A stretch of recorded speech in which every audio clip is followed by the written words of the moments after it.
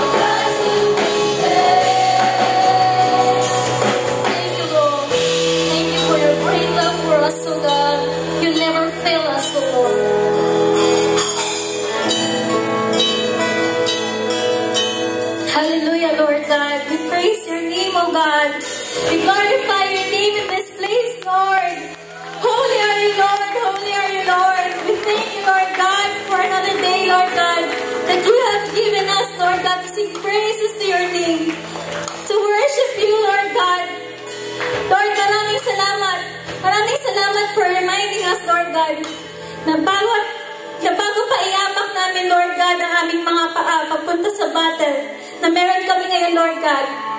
Thank you for showing us, Lord God, na nauna na kayo doon sa battle na, na yon, Lord God, to fight for us, Panginoon.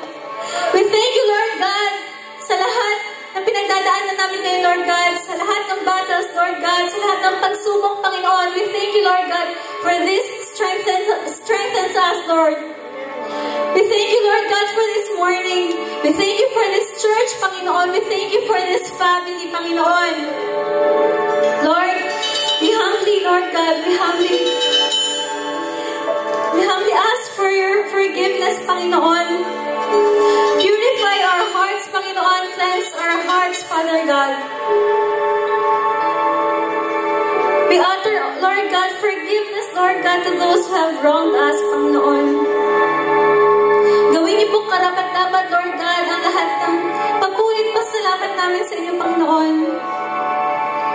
And thank you, Lord God. Napakabuti niyo, Lord God. Isang Diyos na hinayaan, Lord God, na tawagin kami kaibigan niya. Maraming salamat, Panginoon. Father, sama-sama po namin itinataas, Lord God, yung servant na gagamitin niyo for this day. Anoint him, Panginoon. Anoint his lips. Qualify him, Panginoon. And let your word, Lord God, correct us, Panginoon. Rebuke us. Durugin niyo po ang mga puso namin, Lord God, na matitigas, Father.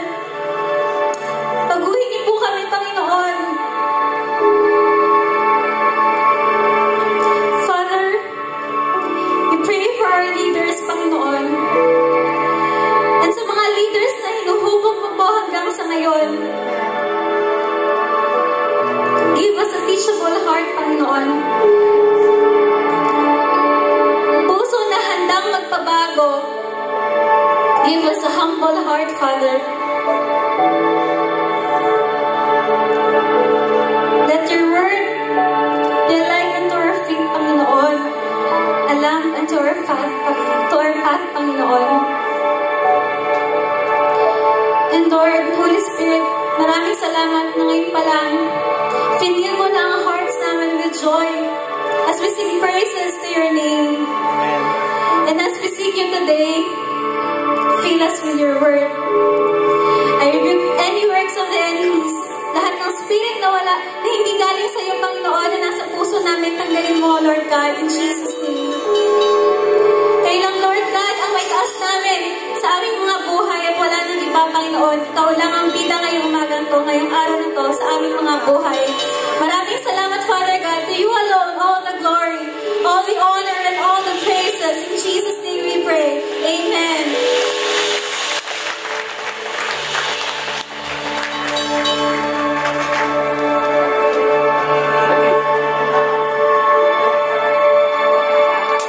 Praise God. Sige po, can I invite you please to sit down for a while?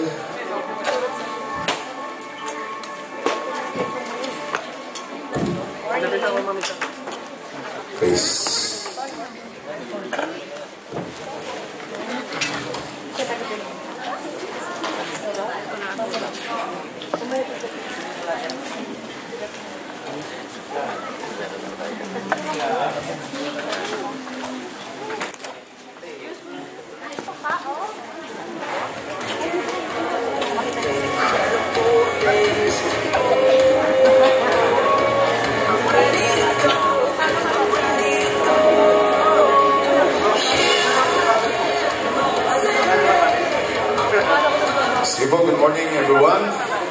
Sa mga sa katabi mo, good morning kapatid.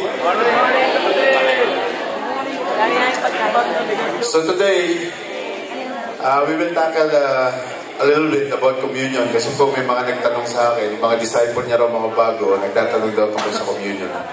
So let's let's just uh, show again what is communion. Pakita muna po natin.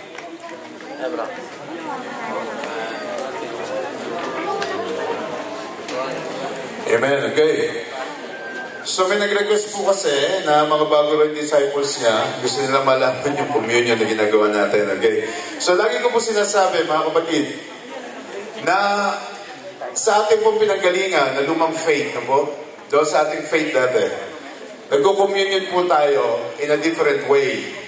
Kung so makikita niyo po na we used to go online in the middle, at yung nakatayo rito, magbibigay ng communion sa inyo. Ang gagawin nyo lang, ilalabas nyo yung inyong dila. Tama ba? So, dito po sa church na to, you might find out na maaaring kakaiba natin ginagawa. Pero listen to this, everyone. Hindi po importante kung paano mo ginagawa. Ang importante po is bakit mo ginagawa. Kasi po, lumaki na tayo doon sa pananampalataya yun, ginagawa natin yon, hindi natin alam kung ba't natin ginagawa. Tama po ba? At ang importante po is yung malaman natin yung bakit natin ginagawa yung mga bagay. No po? So, meron po tayong apat na apat na acts kapag po tayo nagre pag po tayo nag uh, naglo-Lord Supper, yung communion. At number one po dyan is remembrance. Sabi mo nga, remembrance. Sabi po rito, He personally carried our sin in His body on the cross so that we can be dead to sin and live for what is right. By His wounds, you and me are healed. Mga kapatid, dito po sinasabi na Panginoon po napako sa cross para po bigyan tayo ng kaligtasan at kagalingan. Diba? At kapag tayo nagpo-communion, ito pong bread symbolizes the body of Christ. It symbolizes the body of Christ. At kapag ito is yung kinain or yung uh, sinubo sa bibig, yung, yung, yung, yung brokenness ng kanyang body during that time, yung broken body niya, yun po yung remembrance kapag ninuya mo yung bread. Tama? Habang iniisip natin yung body ni Lord na na-crush doon po sa cross. At hindi po kailangan na bread specifically, kahit po anong bread pwede. Amen?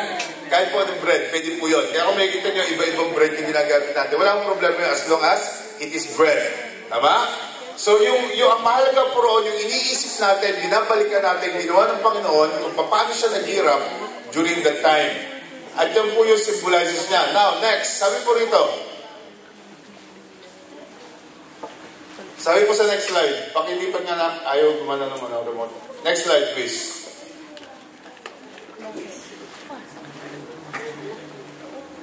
Okay. So, yung pong, yung pong juice, no po? Ito, ito, ito, ito po. Symbolizes the blood of Christ.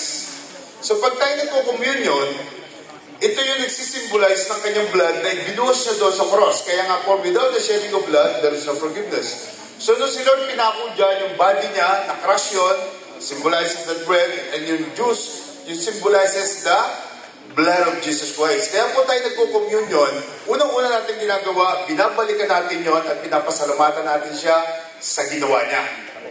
Yun yung purpose po ng communion. We don't even know this before, kaya po pinapaliwanag natin na maayos na yan, okay? So number two, ano yung number two? Uh, second please, examination. None of us is worthy to take communion. So we need to examine ourselves, we need to pray first, before we take it. And sabi po nito, everyone out examine themselves before they eat of the bread and drink from the cup. At the sabi po sa 1 Corinthians, so that whoever eats the bread or drinks the cup of the Lord in an unworthy manner will be guilty of sinning against the body and blood of the Lord. So kung titignan niyo po mabuti, bago po tayo mag-communion, we need to pray. We need to examine ourselves. We need to ask for forgiveness. At yun po yung act number two. Number three, Examination number three, participation. Sabi mo sa participation, is that the cup of thanksgiving for which we give thanks? Our participation in the blood of Christ. And it's not the bread that we bake the participation in the blood of Christ. Because there is one loaf, we who are many are one body, for we all share the one loaf. Isang malaking tinapay po yan na hinati-hati natin para po i-share sa lahat. Kasi po one body tayo, one spiritual family, kaya po lahat tayo magpa-participate, supposed to be sa communion po. Amen?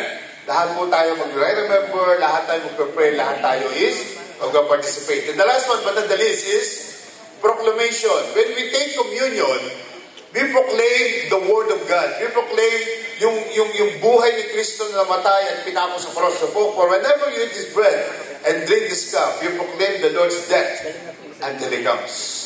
So, when you take communion, basically, dinedeclare natin, pinoproclaim natin sa lahat, yung salita ng Diyos, kung ba't siya bumaba, napako sa cross, symbolizing the body of the blood and proclamation to everyone na siya yung Diyos na namatay for all of us. Amen po ba? Nakuha po natin? So, maaari na kaiba natin ginagawa dito sa ating nakalakihan, but that's not important. The important thing is why we are doing it, not how we are doing it. Amen po? Are you with me? Can I invite you to please stand? Ito po. I hope malinaw po yan. Ito po. Can I invite you to please stand? And let's uh, let's pray before we take this communion in front of us. Father in heaven, maraming maraming salamat po sa umagang ito. Thank you so much, Lord God, for your plans that you sent your Son Jesus Christ to die for us. Panginoong Jesus, maraming salamat po for dying on the cross for us. That you sacrificed your body and your blood just for us to be redeemed in all our righteousness. Kaya po sa umagang ito, Panginoon, para po maging karapat dapat kami, Lord, humingi kami ng kapatawaran sa lahat po ng aming mga nagawang kasalanan. Pagkalinisin niyo kami, Lord God, bigyan niyo kami ng chance, Panginoon, na magawa namin ang mga bagay na ito, Lord God, ng tama at naaayon sa inyong gustuhan. Panginoon, we want to thank you for today and we declare, Lord God, that we are free, that we became righteous because of what you've done. And sama-sama ka naming alalahanin sa umagang ito, Panginoon. Sa lahat ng hirap, sa lahat ng sakripisyo na ginawa mo, Panginoong Jesus. Thank you, Lord God. Thank you is not enough for what you have done. For I received from the Lord what I also pass on to you. The Lord Jesus, on the night he was betrayed, took bread. And when he was given thanks, he broke it and said, This is my body, which is for you. Do this in remembrance of me. In the same way, after supper, he took the cup, saying, This cup is the new covenant in my blood. Do this whenever you drink it, in remembrance of me. For whenever you eat this bread and drink this cup, you proclaim the Lord's death until he comes. Father in heaven, we want to thank you for this morning. We want to thank you, Lord, for your forgiveness on all our sins, in all our iniquities. Lord Jesus, thank you so much for dying on the cross for us. We love you, Lord. Holy Spirit, thank you for convicting us every day of our lives. We give you back all the glory, all the honor, all the thanksgiving. In Jesus' mighty name we pray. And everyone will say, Amen. Can I please invite everyone, please, to do our communion today? Thank you, Lord. Thank you so much, Panginoon. Salamat, Lord God. Tutay, tutay. Patay, patay, patay. Ayaw sapatos. Sapatos. Ay, dito sa amin. Ayaw. Lakad ka. Wala ko siya. Our lives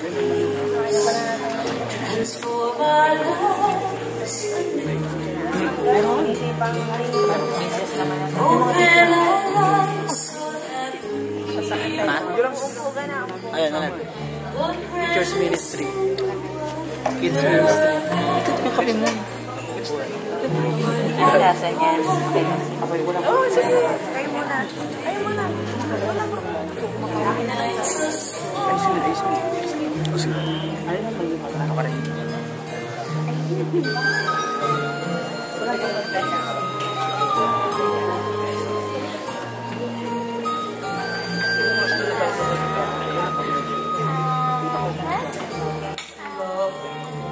Hindi nakaupo dyan. Doon na nga eh.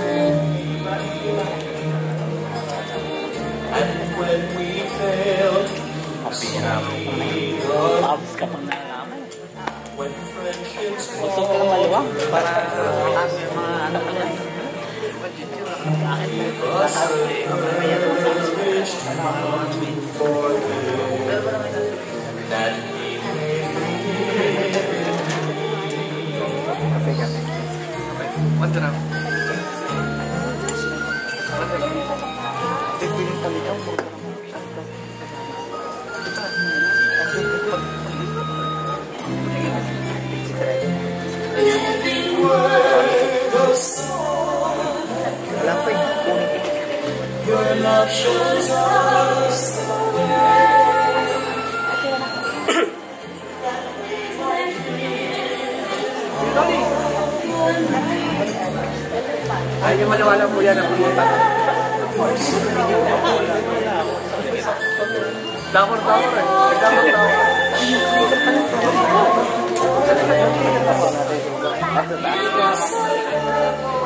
Niray mo na.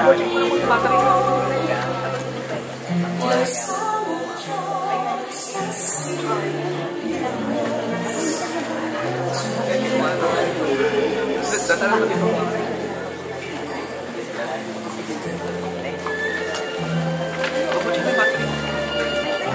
dito. Wala naman ang kulo.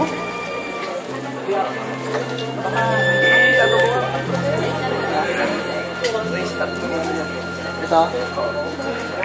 Hilahin mo na.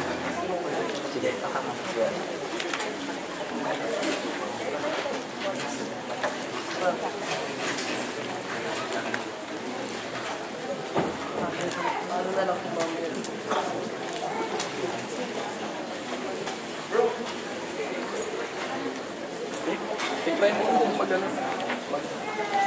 Nag-blink. Ha? Nag-blink ito? Yun, no?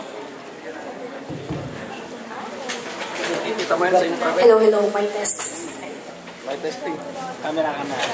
Good morning, church! Good morning, church! Good morning! It's a blessed uh, Friday morning to everyone. Amen? Mapagpala po ba ang bawat isa? Yes, of course, we are victorious. Amen? We are unstoppable. As our praise and worship goes, sabi doon, God is our defender. Amen? He has always been with us in every battles, in our own battles that we have for us in our own lives, right? Nandyan si Lord, lagi nakadepende para sa atin. He is our defender. Amen? So, every time na tatanungin po tayo, are you blessed? Blessed na blessed. Amen? Amen po. And uh, truly, this is the day that the Lord has made for us. Amen? Uh, para pasalamatan siya sa lahat ng pagpapala na binibigay sa atin. Di ba minsan tayo pa kayo nagkukulang eh, no? Oo, totoo. So, ito yung araw the Lord has made for us to uh, to to give thanks to Him. For Him to, uh, para i-worship natin siya, i-praise natin siya together. And that is because of His love. That's why we are here in this uh, in this place. Amen po ba? Amen. At hindi na po natin patatagalin. And marami po tayong first-timer today. So let us call uh, call them one by one. Music, please. May I call on Sister Karen, invited by Sister Elvira. Sister Jonah, invited by Sister Mitch. Sister Wilma Panet, invited by Sis Sel. Sis Michelle Ong, invited by Brother Romar. Sister Rosemary, invited by Brother Jason. Brother Joseph Carlos, invited by Brother Jonathan Q. We call on them to come in front para po makita po tayo lahat. As well as to din po sa nag-invite. Ayan. Praise God. Ayan, good morning. O, sige po, isang malakas na palakpak ulit. Para sa mga first timer natin. Ah, pwede ko bang ah, i-request na mas palakpakan natin mga nag-invite, please? Ah. So, ulit ulit ha, ulit ulit.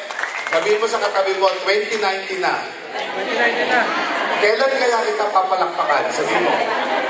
Ayan, okay. Yung mga friends nyo, invite mo rin, kapatid, no? So, good morning po sa ating lahat, no? Good morning po na nandito tayo ngayon. Ah, welcome po kayo sa Life Harvest Association Church. Lagi po namin sinasabi na nandito kayo sa church na to kasi si Lord po may plano noon, hindi sila. kagaya po namin nung first time kami rito, yun po yung kagustuhan ni Lord. At kaya po kami very proud na sabihin sa inyo na yun ang plano ni Lord. Kasi po, ang gusto ni Lord, malaman niyo yung laman nito. Ito po. Hindi lang po tayo nagsisimba, kailangan po alam natin yung Word of God. At dito po, hindi po kami nagtuturo ng reliyon. Kaya po yung reliyon ninyo, you can keep it with you. So kahit po anong reliyon, welcome po rito. Kasi po, ang ituturo namin sa inyo dito, relasyon sa Diyos. Wala po reliyon. So it's more on relationship than relationship. Wala pong reliyon dito, ano po? So dito, pag po kayo nagpatuloy, tuturuan namin kayo how to start your relationship with Christ. Kung paano siya makikilala, kung ano yung pwede niyang gawin sa buhay niyo from this day onwards. Po? So nandito lang po kami. You're welcome in this family, Life Harvest Association Church. So we harvest life, like your life, to restore back the original plan of God according to His Word. Amen po ba? So welcome po. Again, palagpakan nga po natin sila ng malakas.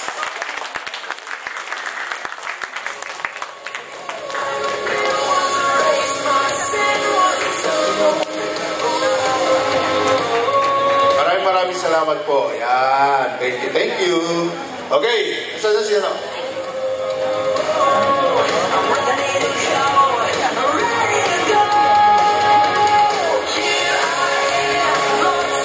Hello. Amen. Gumana na kuya yung clicker.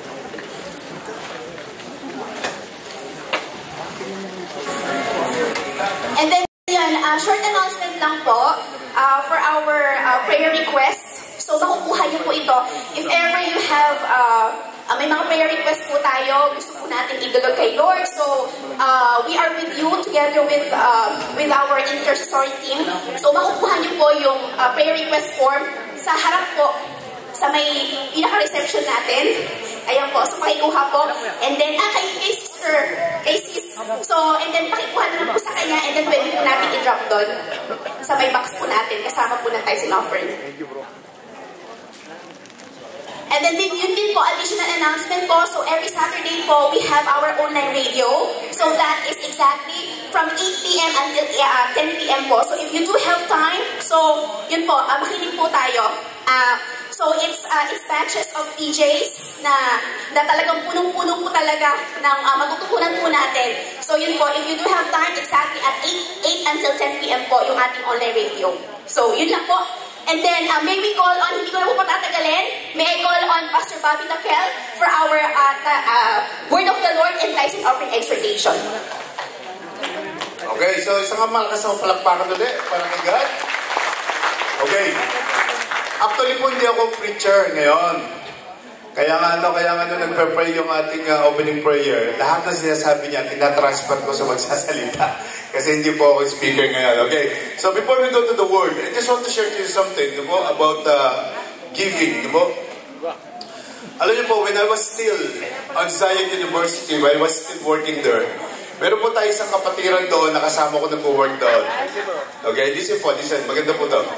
And every time po, na kami po magla-lunch, magsasabay kami mag-lunch, lagi ko po napapansin na wala siyang pang-lunch.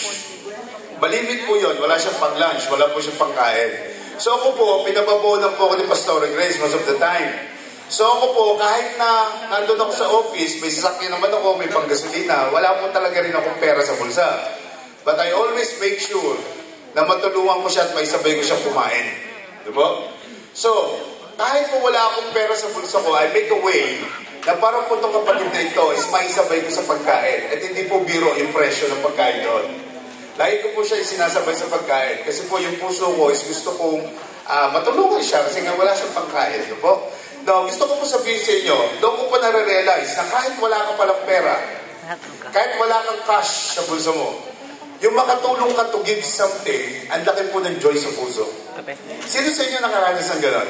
Alam mo yung kahit walang-wala ka, pero nakatulong ka to someone, pagtalikod mo, kahit na wala kang pera sa bulsa mo, naubos yung pera mo, pero yung joy sa puso mo nandun. Di ba po ba? Sabi po sa Acts 20.35, pakilagay nyo nga yung Acts 20.35. Ano sabi sa Acts 20.35? Tingnan po natin yung Acts 20.35. Yung uh, last part lang nito, gusto kong uh, idiin sa inyo ngayon. Sige po. Acts chapter 20, verse 35. Basahin po dito, In everything I did, I show you that by this kind of hard work, we must help the weak. Remembering the words the Lord Jesus himself said, ito yung pinakalas, It is more blessed to give than to receive. How many of you will believe that it is more better to give than to receive? Di ba ang sarap nung ikaw yung nagbibigay kaysa ikaw yung nangihingi? And there is a joy in our heart that will give something to God. Alam niyo mga kapatid, after no, nare-realize ko palagi na life is nothing without giving. Eh, Ibig sabihin, giving is our living. Tayo po mga Kristiyano, dapat po natural na sa atin yung nabubuhay tayo dahil nagbibigay po tayo sa iba. Amen. At hindi ka nagbibigay dahil may pera ka. Listen to this. Nagbibigay ka kasi alam mo kung gaano kahirap ang wala. Tama? Hindi ka nagbibigay kasi mayaman ka. Hindi. Nagbibigay ka because you know in your heart that it's so hard for someone na walang kahit ano. Amen po ba? Now, in this time, in this moment, gusto ko po sabihin sa inyo, from this time onwards, kapag po tayo magbibigay ng giving, ang sasabihin ko na lang, it's blessing time. Dapat po alam na natin yon. Tayo mga Kristiyano, dapat automatic na pagbibigay kay Lord. Hindi na kailangan mag-explore tayo rito. Pag sinabi kong it's blessing time, ano sagot nyo? It's, it's its time. O it's giving time. O baliktad natin. Sabihin natin ganito. Pag tatayo ko rito, tatlong beses ko sisigaw. It's blessing time. Ano sasabihin nyo? Huwag natin sabihin it's it. It's giving time. It's giving time. One, two, three, go.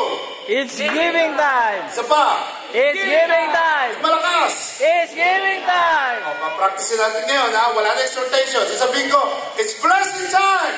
It's giving Isa time. pa, it's blessing time. It's giving time. It's blessing time. It's giving time. Saka tayo tatayo at magbibigay para kay God. Amen?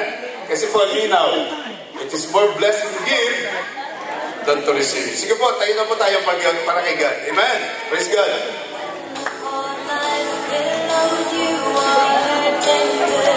Saan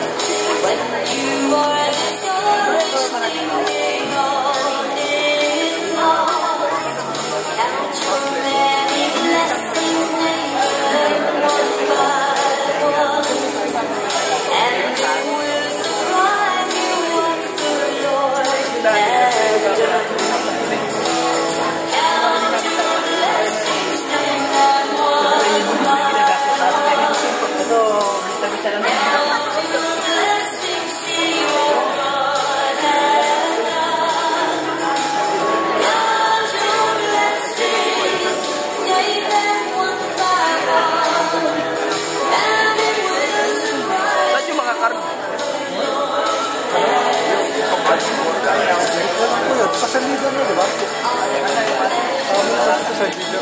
Ano? Ay, Uy, Dala mo? Pwede bang makaupo mamaya? Makaupo mamaya konti? Bro, English ako mag magligpit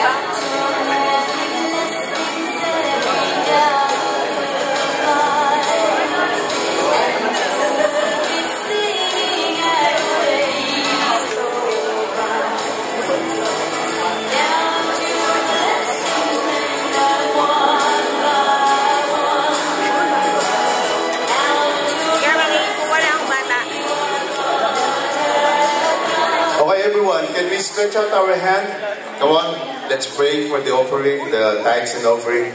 Father in heaven, sa umagang ito, minsan pa, pasasalamatan ka namin sa lahat po ng mga puso na ready magbigay para po sa inyong kapurihan. Lord God, I pray na ito pong mga amount na ito, ito pong mga funds na ito is magamit lamang for your purpose, Panginoon.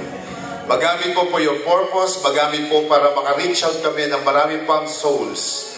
Maka-reach out kami ng marami pang life for us to be able to show your goodness and faithfulness sa kanilang mga buhay. Panginoon, I cover all the people who, who gave with your precious blood. Nadalahin ko, Panginoon, na marami pang pagpapala ang ibalik nyo sa lahat ng aspeto ng buhay nila.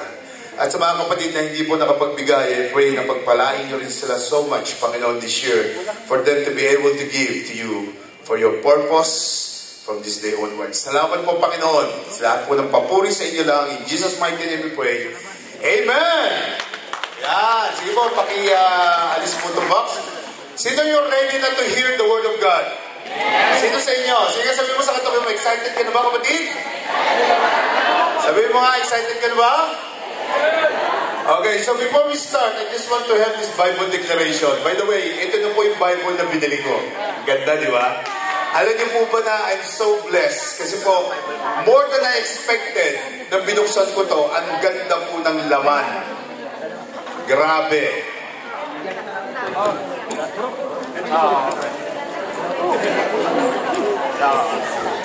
Bibigyan ko po kayo ng isang idea kung ano sabi ng ganda ng laman. Kasi po, hindi lang siya panay sulat, pero siyang panay picture na gaganda. Puno po siya ng mga picture, mga kapatid. May ganyo ka magbasa. At alam niyo ba, sabi ko, chronological po to. Yung nangyari sa isang araw, nasa isang page lahat. Kumbaga, hindi mo asahan na pagkatapos ng Acts chapter 1, yung kasunod na page, Acts chapter 2, hindi po. Iba-iba. Kasi po lahat ng nangyari sa isang araw nakalagay sa isang page. So iba-ibang book yung makikita mo. Ang ganda po talaga. I encourage you to buy one. Ha? Sino ang tatanong? 325 grams. Five months ko po pinag-ipunan to for your info. Okay? So, kung gusto niyo po order, let me know. O order po tayo para sa inyo. Napakaganda po ng Biblia na to. Hindi po kayo tatamarin magbasa. As I told you uh, before, mag, ano po tayo, mag-invest tayo sa Word of God. Mag-invest po tayo kasi po dito matututo ka talaga. So lahat na ituturo ko from this day onwards, para realize mo lahat kasi dito isang Bible yung ginagamit natin. Ang ganda po, ang tawag po dito is NLT, Life Application Bible, Chronological Records. Ang ganda po. So, sa, sa, sa, sa apat na gospel, ito po yung, uh, yung uh, Matthew, Mark, June, uh, uh, Luke, John, doon po nakalagay lahat ng nangyari sabay-sabay sa isang page. Ano yung nakita ni Mark, ano yung nakita ni Luke, ano yung nakita ni Matthew during that moment. Ang ganda, di ba? Hindi mo na kailangan ilipat-lipat yung pages. Kaya po, encourage you, if you want to order one, let me know, o order po tayo sa Jubilali. Eme po ba? At dadali nila rito sa Abu Dhabi yun. Meron na po order na nakita niya yan. Po? So, let's let's continue, let's start this year going deeper sa Word of God. Hindi po yung bagong taon na nawala ka. Hindi. Bagong taon na lalo tayo lalalim sa Panginoon. I-upgrade mo yung pagkilala mo kay Lord. I-upgrade mo na makilala mo si Lord palalo sa buhay mo. Tama mo ba? Sige po, tayo po tayo, tayo tayo, tayo tayo. Let's, let's uh, declare the Word of God right now.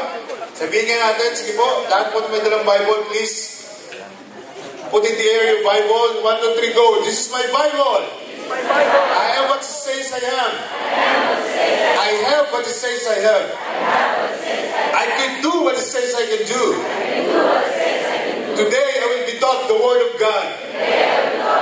This morning I boldly confess. My mind is alert. My mind is receptive.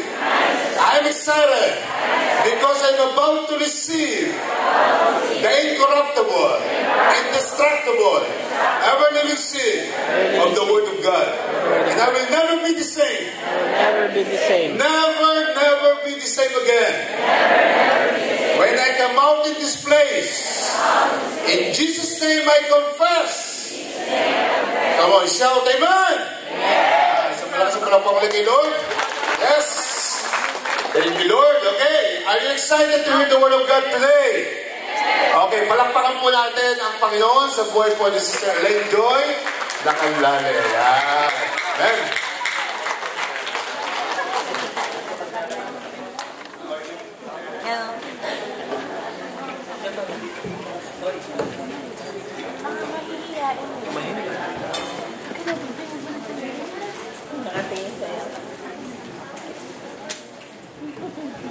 Praise God. Nakakapanibago pala. yung sa Almaraya kasi ikaw ay nakatingin eh.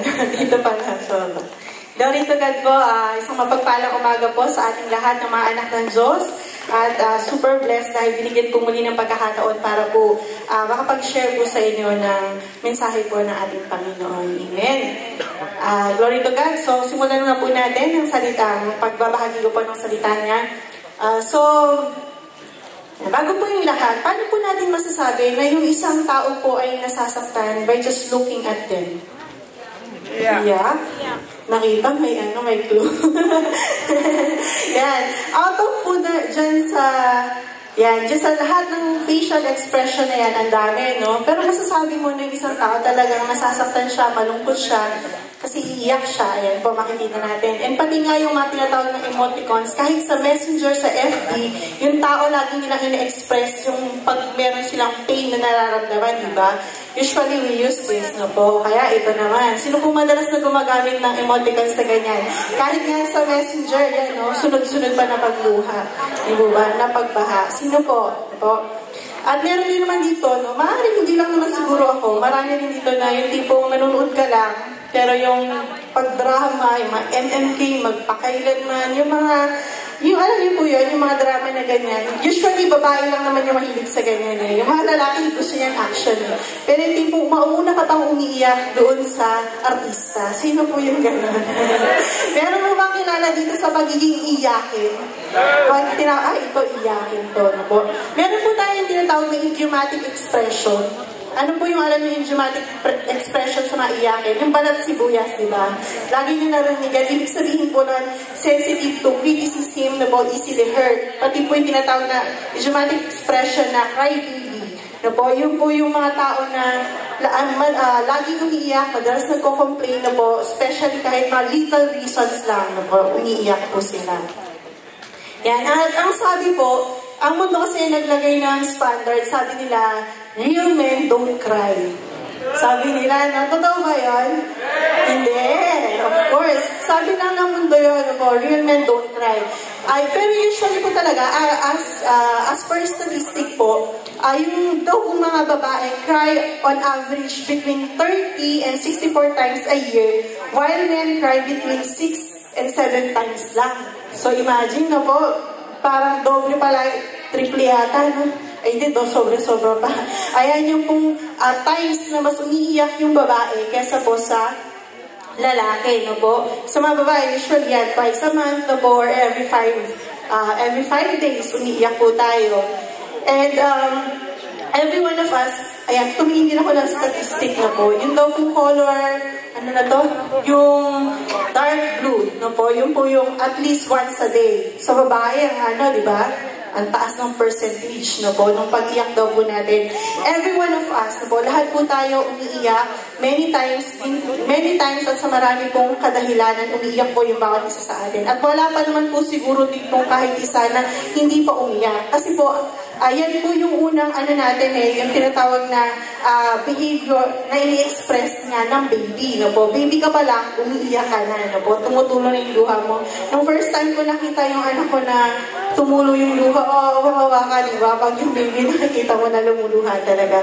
So, yan po kasi yung first na na ah, expression ng baby para po ma masabi niya yung kailangan niya, para ma-meet yung pong pangailangan po niya. At yung pong shedding of tears po kasi, it's usually the unique uh, human method of expressing emotion such as sorrow, pain, dis- uh, despair, and disappointments. No po? Diyan po kasi natin na ilalabas yun. And of course, hindi lang naman po ah, dahil sa mga sorrow, pain, no po, yung po pagluhan. May tinatawag din po tayong tears of joy, no po, may tinatawag tayong um, kapag grateful ka na po, ma, naiiyak ka dahil sobrang kagala ka na meron ka sa puso mo, yung gratitude, no po, yung compassion, lahat po yun, no po, na, na ipapakita din natin through tears, no po. Ah, that's why, mapapansin ninyo, kahit hindi ka magsalita, pag pumatak na yung luha mo, ang sabi kasi, ang sabi po is, yung pong tears po is the language of the heart na po. What incites you na po, ipapakita nito kung sino, kung ano yung mensahe na gusto mong iparating. Sabi po sa Ecclesiastes, yung pong book ng, sa Tagalog, ano po Ecclesiastes? Maharal tayo. No? Sa book po ng Ecclesiastes chapter 3, ang sabi po doon, there's a time for everything. Sabi po doon, lahat daw po, na lahat daw po ay may kanya-kanyang panahon. No po? Ang sabi po dito, kinuha ko siya sa Tagalog, sabi po sa Mangaral chapter 3 verse 4, ang panahon ng pagluha at ang panahon ng pagtawa, ang panahon ng pagluksa at ang panahon ng pagdidiwang. No po? Isang malinaw po dito sa verse na ito, na yung tears po is part of life. No po? Bahagi po yan ng buhay ng tao. No one is exempted, whether you like it or not. No po? Dahil bakit po? We are living in a fallen world. No po. Nandito pa yung kasalanan. No po. This world will, uh, will give us many reasons para po umiyak tayo, masaktan tayo. No po. Kata, lahat, lahat, lahat. No po. Every actions ng uh, nasa paligid natin, magiging sitwasyon na meron tayo, maaari tayong masaktan. No po. We will, uh, today po, sa message ni Lord, uh, gusto ko pong maunawaan po natin what the Bible says about ano, tears po sa pagluha po natin. Bakit po tayo umiyak? Opo, yan po, ma- may naman nasabi, pero specifically, gusto ko lang pong ti- tignan natin ito.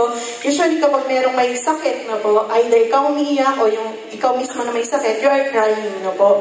And also, yan, kapag ikaw sa trabaho, na po, napagalitan ka ng boss mo, o kaya hindi mo alam yung gagawin mo sa trabaho mo, etc. na po. Yan, no po. Yung tat- meron pa yung mga nagtatago sa CR, na po, pag nasigawan ng boss, umiiyak. Amen. Sino po nakaranas? Sa CR. Yan, ito rin naman, usually we also cry when we feel, uh, pag nakaranas tayo ng betrayal, nakaranas tayo ng hindi magandang salita na po narinig sa ibang tao, kapag napapersecute tayo, na po may sinasabi sila sa atin, nasasaktan po tayo, we cry na po. And also, Death, of course, we all know po na dahil iiyak at iiyak ka, magmumorn ka, once na merong nawala sa mahal mo sa buhay, kaibigan mo, anyone na po na closest to your heart na po, iiyak ka. And also, ito, of course, lahat tayo makakarelate is yung pong uh, relationship na po, broken relationship, trending na po, kahit saan mo um, panood mo, mapakinggan mo, lagi ito ang topic ng mga ano, pusong sawi. Yan, yung mga sawi, no po. Lagi, iiyak at iiyak ka, no po, pag yan, puso, ah, pag yung broken yung relationship. Napaka-importante kasi ng relationship, no po. So, ito po yung key verse na gusto ko pong i-share sa inyo today. Ang sabi po sa Revelation chapter 21 verse 4, And God will wipe away every tears from their eyes. There shall be no more death, nor sorrow, nor crying. There shall be no more pain for the former things have passed away. Po. Ito po yung sinasabi sa Revelation chapter 21 verse 4.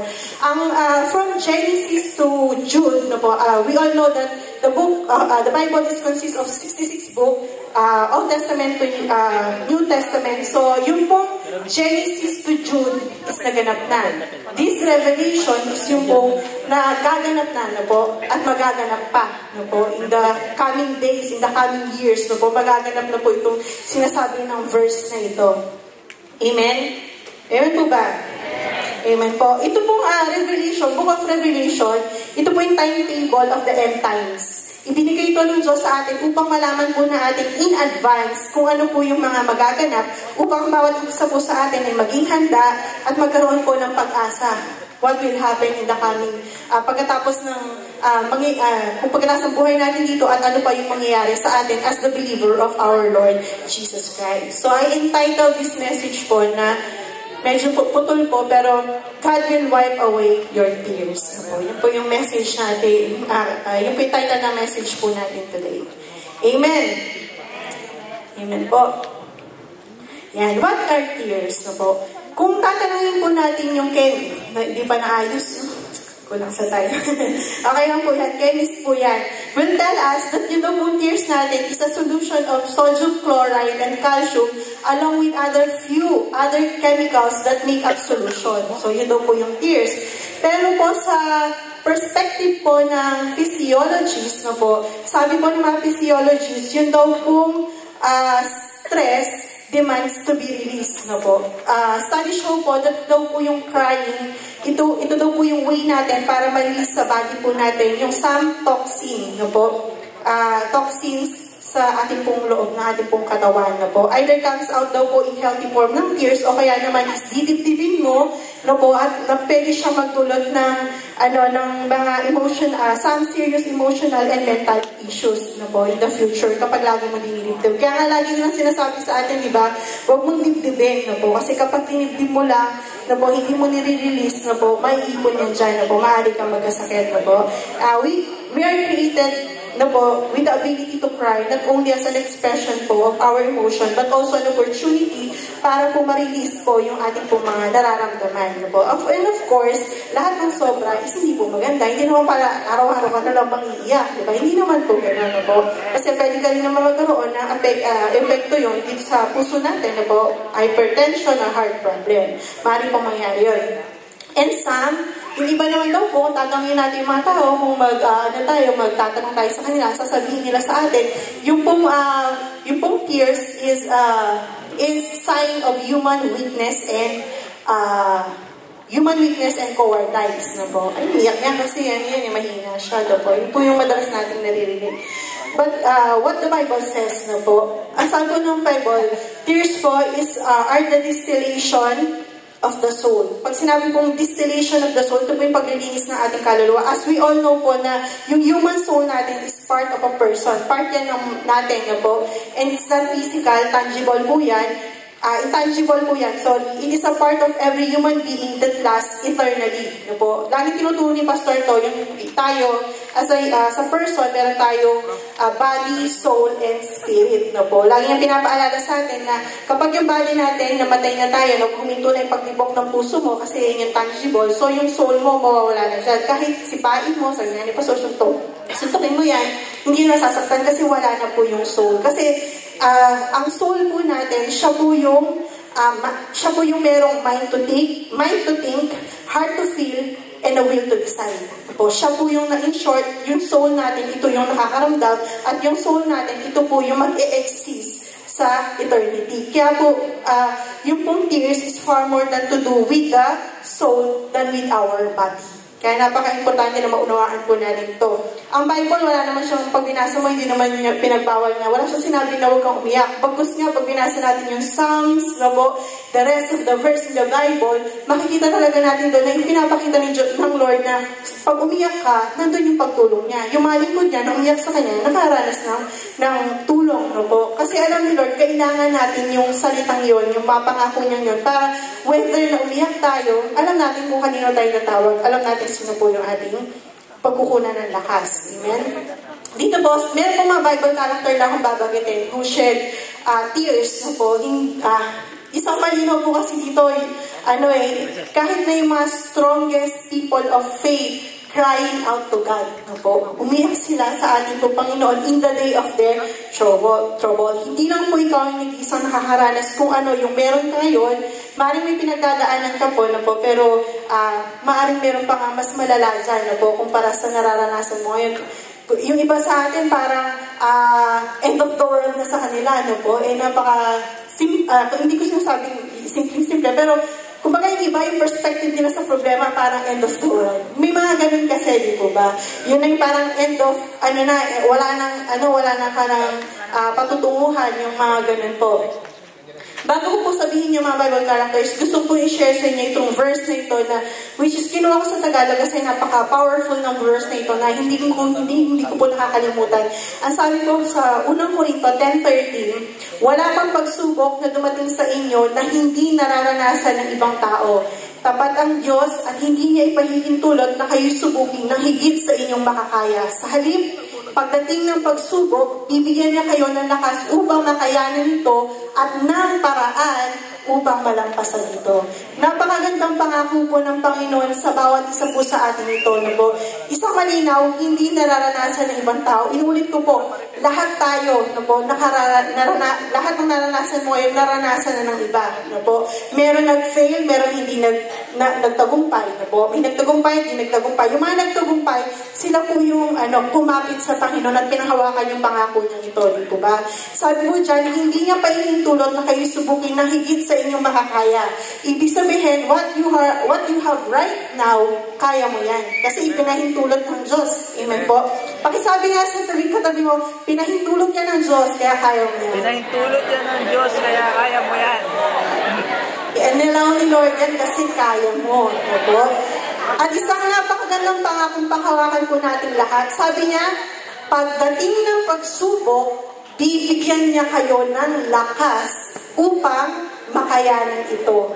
Alam niyo po, when the Lord allow yung pagsubok sa buhay natin, He already provides the way. No po? Pinrovide niya na yung means. No po? Kasi bibigyan ka ng lakas upang makayanan ito at paraan upang malampasan ito. Di ba ba? Napakasarap ng pangako ng Diyos sa bawat isa po sa atin. We will never be exempted, inulit ko po, sa lahat ng uri ng sitwasyon, problema na dumating, da, da, uh, na naranasan natin at darating pa in the future. Kaya panghawakan po natin yung pangako ni Lord. Amen? Kasi isa ka at isa ako doon sa magtatagumpay. Amen? Amen po. So ito po, yung, tingnan po natin, ito po yung mga Bible character who shed tears. Una si Abraham, umiyak siya nung namatay yung kanyang asawa na si Sarah. Si Hannah at si Rachel po, umiyak po sila nung panahon na hinihingi nila yung kanilang mga anak. Nung hiningi ni Hannah si Samuel at hiningi ni Rachel, sino po? Si? Sino hiningi ni Rachel? Si Joseph, di po ba?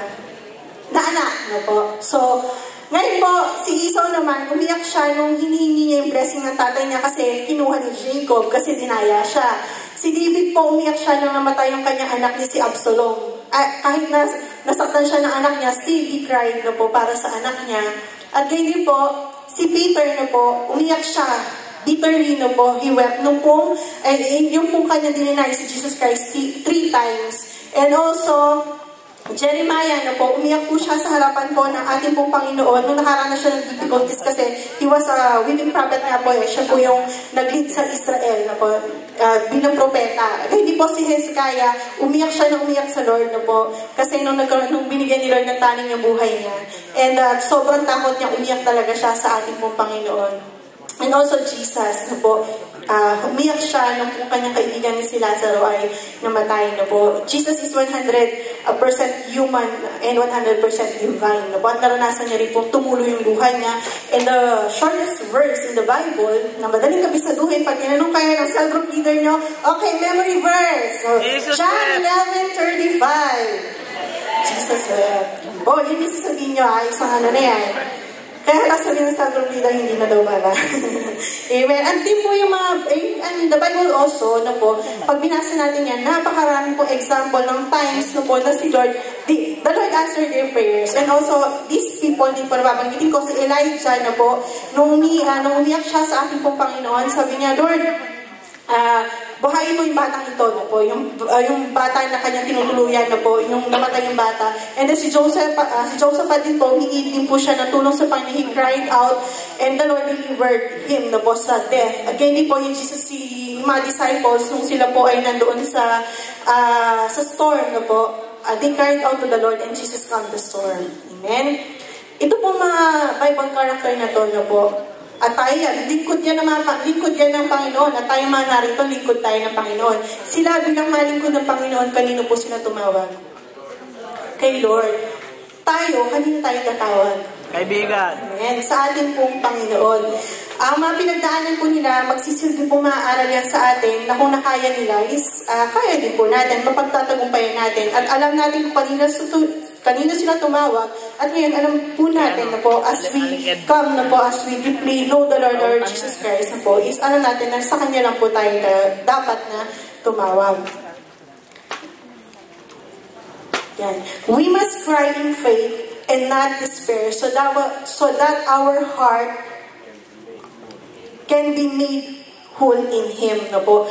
Uh, ito po kailangan kasi pag umiiyak tayo, yung cry in faith eh.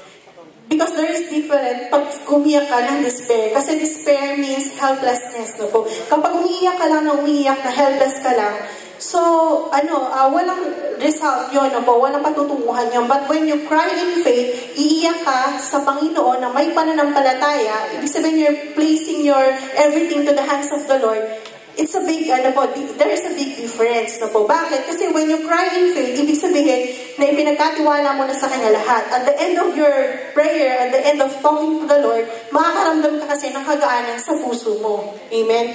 Once kasi, once po na umiyak ka na umiyak ko, sige, Lord, uh, parang ganito lang po kasi yan eh. Halimbawa ako, tapos may kaibigan ako, uh, ano ba si Pastora, sinabi ko sa kanya, Pastora, ang bigat-bigat ng daladala ko, uh, sobrang bigat, hirap na hirap ako, ganun lahat sinabi sa kanya. Pero si Pastora, kaya niya naman akong tulungan, di ba? Pero ayaw kong, ano, ayoko sabihin na, ayoko ibigay sa kanya na para tulungan niya ako at gumaan kung ano yung nararamdaman ko. No po? Ganun din kasi madalas tayo, madalas ka lang sabi ng sabi kay Lord na po, pero wala talaga yung tunay na pagtitiwala. No po? When you cry in faith, ibig sabihin talagang nagtitiwala ka ng buong buo na may gagawin siya on your behalf. May gagawin siya doon sa petitions at sinasabi mo sa ating pong Panginoon.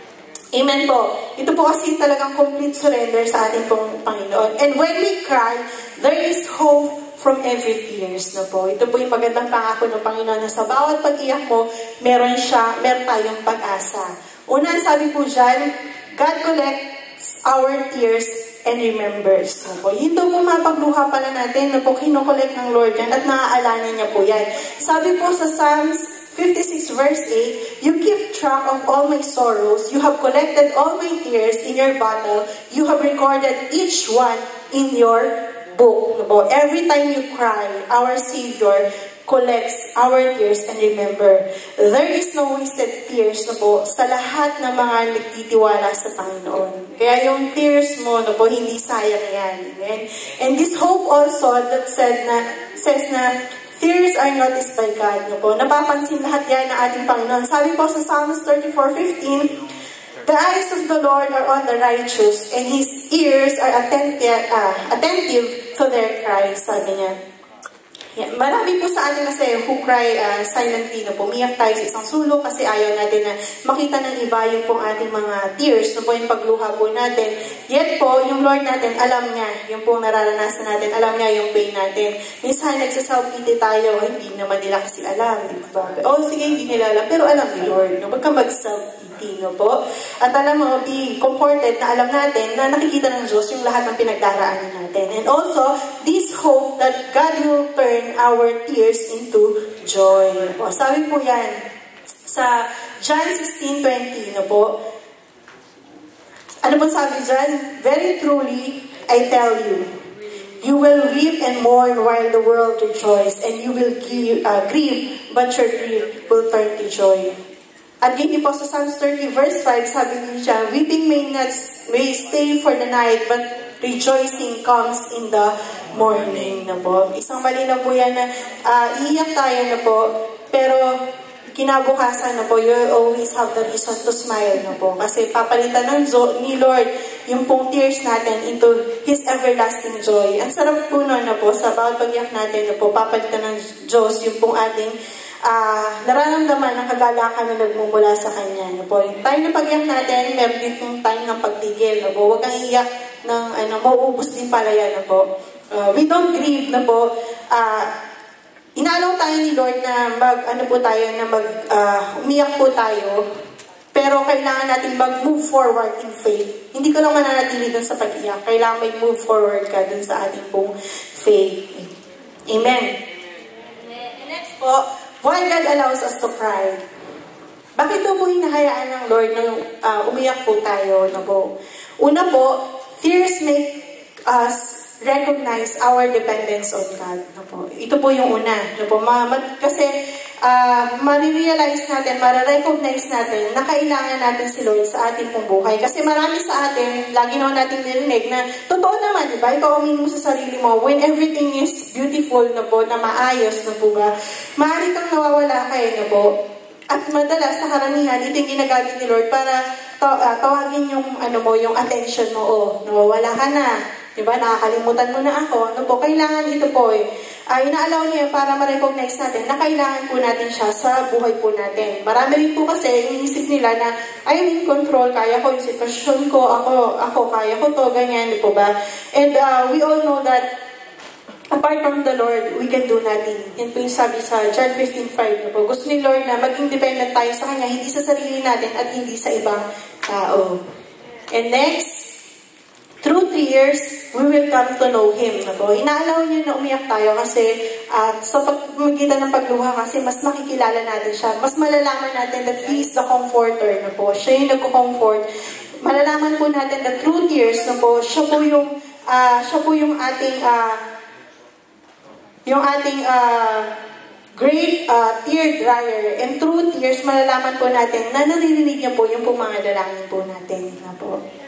And also, tears make us willing to leave this world.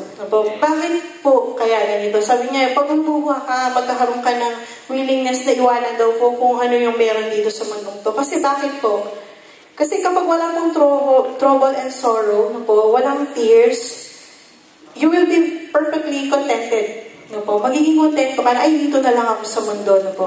Magre-remain na lang ako dito. Kapag walang tears at kapag walang uh, walang pain, no po. And tears, no po, uh, there is a we uh, there is a willing release on grief, no po, sa mundong ito and longing for heaven, no po. Kaya kaya inaalaw ni Lord na umiyak tayo kasi maglulong talaga tayo sa heaven, no po. Pag masyado kasing attached kung ano po yung meron sa world na to, no po, nakakalimutan mo si, ano, si, si Lord, no po, higit na mas mahalaga sa ano pa mang bagay. We try to hold on, pero habang pilit tayo nag-hold on sa mundong to, mas lalo kasi tayo nasasaktan na po. And the Lord allow us po, to cry para alam natin sa Kanya tayo tatawa. Kasi parang yun yung, yun yung pinaka, ano eh, yung, yung ginagawa ng lahat ng tao kapag wala na talaga silang masandalan. Tumawag kay Lord. Parang yun nga, lang yung last resort si Lord. Kaya inaalaw ni Lord to eh, para talaga alam niya, sa Kanya at sa Kanya po tayong babalik. When the Lord allows you to cry, He's giving you the opportunity para lumapit ka sa Kanya, para mabalik yung relationship mo sa Kanya. Kaya thank the Lord that you're crying na po, na umiiyak tayo. Amen po. And also, this one, kaya ako po na-share to kasi na, yung binasa ko po sa Revelation chapter uh, 21 verse 4 is uh, this verse gives, uh, nagbigay po kasi sa akin to ng sobrang pag-asa sa puso ko. When the times that na umiiyak ako sa ating Panginoon, pinaalala niya yung verse nito sa akin, yung Revelation 21 verse 4, that uh, one day na po, He will wipe away every tears from our eyes. And this one, na a place that exists in eternity, kailangan po natin maunawaan kung kung kailan na po that the Lord will perfectly na po i-wipe niya yung tears sa ating pong mga mata sa ating pong mga mata. Sabi po dito, ayan, a place that exists in that exists in eternity is what we call heaven and what we call hell. Dalawa lang naman po, di ba? Sa Revelation, mababasa po natin yan. There is heaven and there is hell. At sa buong Biblia nga po, uh, mas marami po yung uh, pin, uh, marami po tayong mababasa mas patungkol sa hell kasi si Lord, He give us warnings, no po, para hindi tayo magpunta dito, alam natin kung ano yung dadanasin naman nasa taong nasa hell. And give us only a glimpse of what is in heaven para po talagang ma-excite din tayo at magkaroon tayo ng pag-asa, no po, kung ano po yung mangyayari in ano in eternity. Lahat tayo na po, once we die, na po, it is appointed unto man once to die. At kapag namatay tayo, sa dalawa lang po tayo mag-exist na po. Yung soul natin, yung ulit ko, yung soul natin nakakaramdam pa yan na po. At dito po, uh, lahat tayo na po, lagi tinatanong ni Pastor Almanala, o sige, sabi niya, sino gustong pumunta ng langit, magtas ng kamay. So sige, lahat tayo, syempre sa langit pupunta. Sino ba naman gustong pumunta sa hell, po ba? Lahat tayo, yan yung po yung gusto natin marating. Although heaven na po, mahirap i-comprehend fully kasi nga po, yung limited yung, limited yung kayang i kayang isaklawin ng isip ng tao eh. Na po, limited lang siya. Minsan, minsan na is, minsan may mga tanong, marami kasi sa atin nagtatanong, di ba? And also, maaaring kayo mismo sa sarili nyo hanggang ngayon, may mga tanong pa rin kayo, no po? Uh, na sometimes, no po, hindi, hindi, hindi nyo maunawaan kahit ay paliwanag sa inyo, Then yung iba, ginagawa nila, kapag hindi nasasagot yung tanong nila is, umaalis sila, di ba? Hindi naman nila kayang sagutin yung tanong ko, hindi naman nila, hindi naman nila maipaliwanag. So, hindi ko rin maintindihan. So, alis na lang ako. So, ako naman sabi ko, masyado silang maraming, eh, yung bang, ang dami nilang tanong, why not believe now? Then, tanong mo na lang kay Lord sa langit yung sagot, di po ba? Importante, naniwala ka sa Kanya bilang Panginoon at tagapagligtas ng buhay mo. Kasi nga, may mga tanong na talagang medyo ano siya, mahirap sagutin, di po ba? Eh kung, eh kung ano, eh kung umalis ka, kasi lang hindi lang nasagot yung tanong mo, eh paano matatanong kay Lord kung nandun ka sa kabila, di? Eh di why not, doon na lang sa langit. Anyways, we are all knowing na rin po pagdating sa langit, no po, kilala natin yung isa't isa, no po. Hindi lang by name, no po, by face, no po, kilala natin. Amen?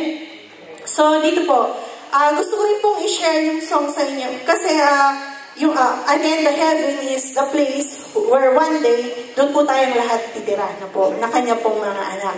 And uh, gusto ko pong i-share sa inyo kasi uh, uh, natandaan ko po yung song na to. Hindi ko alam ko alam yung song na Tears in Heaven.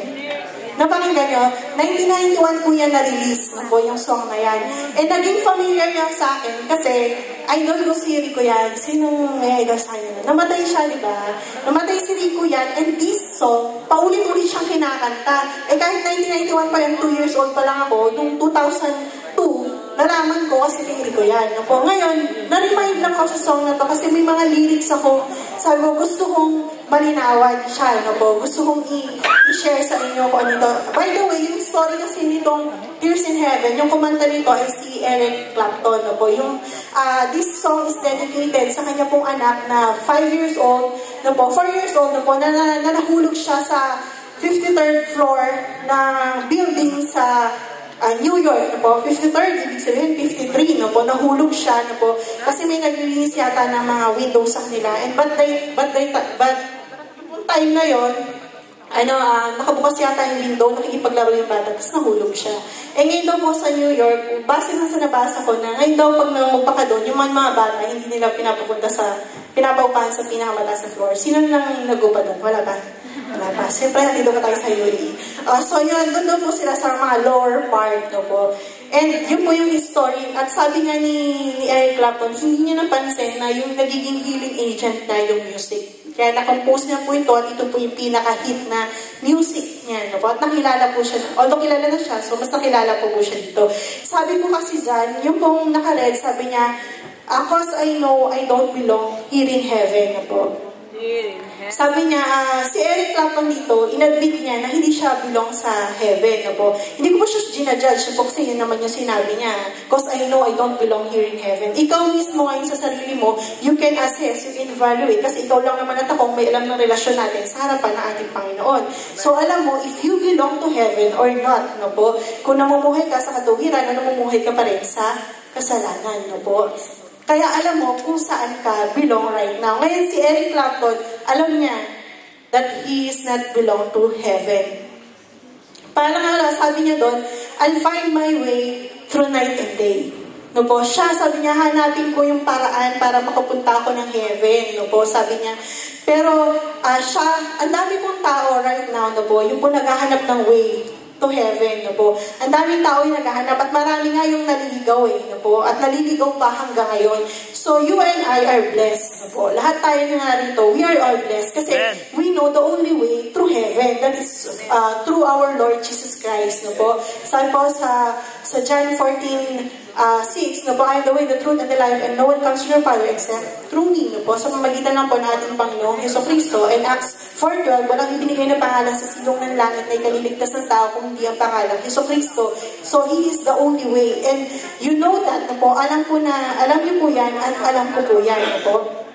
Kaya, kaya naman po, as we, uh, as we know no po, na yung daan ng kaligtasan, kailangan po natin, sabi nga lang pinapaalala ni Pastor sa atin, sabi niya, work out no po sa ating salvation. Kailangan wino-work out po natin yung salvation natin. Kailangan hanggang end no po, hanggang ma-finish natin yung race, tinatahak natin yung tama at papunta sa ating po Panginoon. Kasi along the way no po, hindi naman lahat ng tumanggap kay Jesus Christ, nag-serve sa Kanya ngayon, is nagpatuloy no po. Hindi naman lahat ng mga Kristiyano tumanggap noon, na sila patuloy, nasaan sila ngayon? Hindi naman lahat nasa heaven, di ba? Maring sa kanila, bumalik na backslide, bumalik sa kasalanan. So, they're in hell, no po. Kaya tayo po, kailangan on track tayo. And we are all blessed kasi po, this church na po is helping us na maging on track tayong lahat. Bakit po? Meron tayong devotion, meron tayong prayer time, cell group leader tayo, nagpapalakas sa atin, meron tayong mga pastor, pastora natin, no po, nag-inagay tayo, no po. Without this, no po, maaari tayong maligaw, no po. Kasi when you, pag binabasa mo kasi yung word ni Lord, eh, mas lalo mo siya makikilala at mas nagiging ano ka, ah, alam mo kung ano yung patutunguhan mo talaga, di po ba? Kesa naman yung, ano ka lang, yung punta, upo, labas, no po, kinig ka lang. Iba kasi kapag ikaw mismo ay nagbabasa ng salita ng Diyos, nakakapag-reflect ka talaga. No po, may mensahe si Lord at sa bawat isa po sa atin. So, lagi po sinasabi sa cell group ko, napakahalaga ng, ng ginagawa natin yung mga vision, yung vision, ginagawa natin yung devotion natin, ginagawa natin mag-pray tayo, na po we join CG, we, we attend uh, church, na po every Friday. Kasi bakit? Ito kasi lagi natin narinig eh, para maging on fire ka, kailangan mo yung gatong, di ba? At yung mga yan, sila yung nagsisilbing mga gatong natin para magpatuloy yung apoy, di ba? Para manatili siya nag-aalab. Kung ang kung ang itong meron na tayo mga to, meron pang chance na nahahatak tayo, di ba, ng mundo, what if kaya kung wala pa? Na po? Kaya we are blessed, panatilihin lang po natin na on track tayo. This vision will help us na maging on track tayo dun sa uh, gusto ni Lord na matapos natin takbuhin ng buhay nito. Amen po? Kaya blessed tayo sa devotion. Can I say amen? Amen. Amen. Glory to God po. And sabi niya dito, sabi ni uh, Eric Clapton dito sa lyrics niya, I, and I know there be no more tears in heaven. Sabi niya, beyond the door, there's peace, and I'm sure I know there is heaven. Siya mismo, di po ba, alam niya na one day na po, sa heaven, wala nang tears na po, napapahirin po ng Diyos yung luha sa kanya pong mga mata. Kung ikaw alam mo na wala ng pagluha na po sa langit, di ba? Di ba na naisip na alamin kung paano pumunta doon? Di ba you will seek for wings? Kaya napaka-bless natin kasi alam natin lahat ngayon to. Sinabi sa Revelations 21 verse 4 na po, that one day, He will wipe every tears from our eyes. Amen, Amen po? Kaya kung, kung tayo is first timer ngayon, this, uh, this word of the Lord na po, may give us all hope na po, at magsikap tayo na talagang tapusin, takbuhin ang buhay po natin. Na po, walang susuko, fighting. Na po.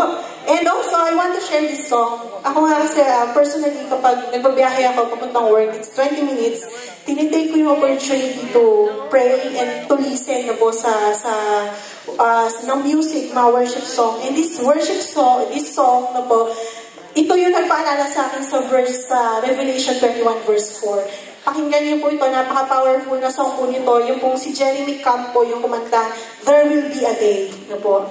Yung, ano, yung some lyrics na po inilagay ko, ah, kasi, um, pakinggan niyo na po, Jeremy Camp, yung kumanta. Pakinggan niyo po. While ako po nagbabiyahe, kasi lahat tayo sa mo may pinagdadaanan, kahit nakangiti kami ngayon sa harap niyo, deep within us na po, meron din kami mga kanya-kanyang battle. And nung panahon na yun na may pinagdadaanan ako, napakinggan ko yung song na to. Matagal na siya sa cellphone ko, pero nung pinakinggan, yun po yung kahalagahan na nakikinig tayo ng worship song, Dan, worldly song, di ba? Yung mga love song yan, talagang hurt, masasaktan ka lalo. Pero kapag worship song, it will give you definitely hope. Po. Sure yun, hope yung ibibigay sa'yo kapag nakikinig ka ng mga worship song. And this uh, song, po, nung mga panahon na yon na I'm about to cry ng cry, yan, napakinggan yung kanta na to, and it, ano, nagbigay po talaga ng so much hope sa akin. Sabi ko, one day, no, ituturo ko itong verse na ito na sinabi sa Revelation 21.4. And glory to God, no, panagbigyan po ng pagkakataon. And sabi po dyan kasi sa a day, I try to hold on on this world in everything I have na po. Lahat kasi tayo ganyan yung ginagawa natin eh. Pinipilit natin mag-hold on kung ano yung meron na binibigay ng mundo. Pero ang bigat, di po ba? The more na pinipilit natin kumapit, the more na nasasaktan tayo at nabibigatan tayo. Ano po?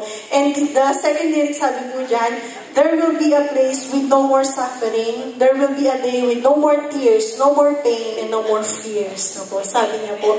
And truly, indeed, sinabi po yan sa Revelation chapter 21 verse 4 that there will be a place and that is definitely walang iba kundi heaven na po. Walang iba makapagbibigay sa'yo sa mundong to ng lugar na walang pain, na lugar na walang tears at lugar na walang uh, fears na po. Walang iba, heaven na po.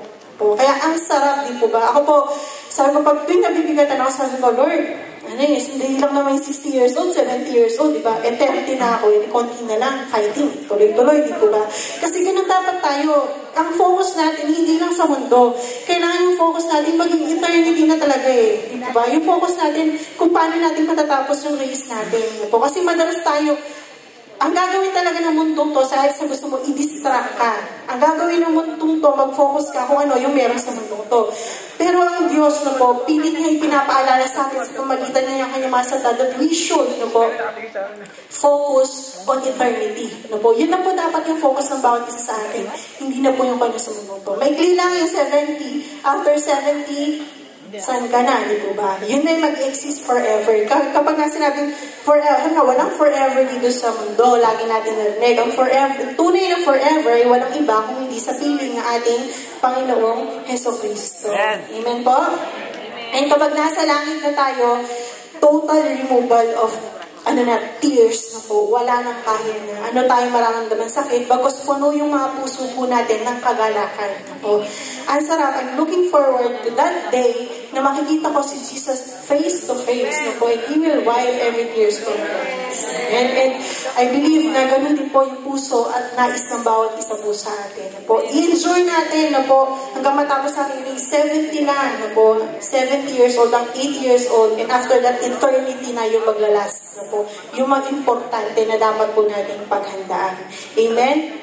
At ang sabi niya po po dyan, But I hold on on this hope and the promise that He brings. There will be a praise with no more suffering. Pero yung po isa, sabi niya, ah, uh, there will be a day when the burdens of this place will be no more. We'll see Jesus face to face. But until that day, we hold on to you always. Po, kunin ka man ni Lord o dumating man siya, hold on. Po, huwag kang bibitiw na po kasi uh, napaka, ano, napakaganda na naghihintay po sa bawat isa po sa atin na nananampalataya po sa ating pong Panginoon. Tandaan natin na dayuhan lang tayo sa mundong to, mga foreigners lang daw tayo. Ano po. Mga foreigners lang tayo dito, mga dayuhan. Hindi ito yung tunay nating tahanan. Ano po. Sabi nga, kung tunay natin itong tahanan, masaya tayo, walang pain, walang, um, uh, kasi sabi nga, there's no place like home, di ba? Kapag na-home ka, komportable ka, di po ba? Kung ganun din po, ang home talaga natin is heaven, and we are all citizens of heaven, na po. When we have Jesus Christ in our heart, now, uh, uh, citizen ka ng ating pong Panginoon, ng heaven na po. Tinatawag ng iba na heaven to, pero tayo, we call it home. Yun po yung ating tahanan. Amen? And also, there's a warning, there's a blessed hope for knowing what is awaits in us in heaven. And also din po, kapag uh, hindi po tayo uh, nagpatuloy na po, pag sumuko tayo, and uh, there is also what we call hell. As we all know po, kung laging binabanggit sa atin, yung basahin natin sa Luke chapter 13 verse 28 sa Lucas, sabi po dyan, iiyak kayo at mangangalit ang inyong ngipin kapag nakita ninyong nasa karya na ng Diyos, sin Abraham, Isaac at Ahob, at lahat ng mga propeta, habang kayo na may ipinagtatabuyan na po.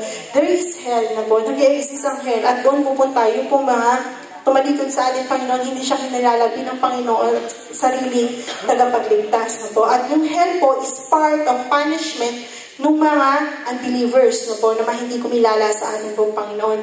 Ano po eh, parang it's hard uh, even to imagine po kung gaano po katindi yung pag-iyak doon. Eh. Sabi nga, eternity. Imagine, unulit ko po, yung soul natin, siya yung nakakaramdam. So sa hell, nandun yung soul mo, yung pain, everlasting po. Kahit hilingin mo pa kay Lord, sabi nga ni Lazarus no, di ba yung si mayaman sa si Lazarus, sabi niya, uh, kahit pupuntahin mo lang ako dyan, sabihin ko yung mga mga ano ko, mga kapatid ko, para maligtas din sila. Hindi, hindi ka na pwedeng malis dyan. Nandyan ka na, ano po?